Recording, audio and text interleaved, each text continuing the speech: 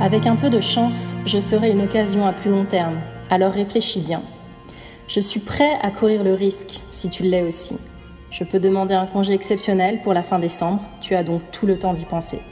Si jamais tu changes d'avis, je comprendrai. Sinon, je te promets que je m'occuperai toujours de toi et que je ferai de mon mieux pour être un bon mari. Affectueusement,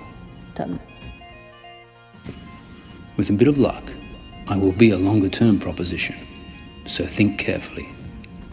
I am prepared to risk it if you are. I can apply for exceptional shore leave at the end of December, so you have got time to think it over.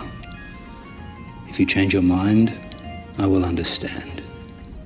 And if you don't, I promise I will take care of you always and do my very best to be a good husband. Yours, Tom.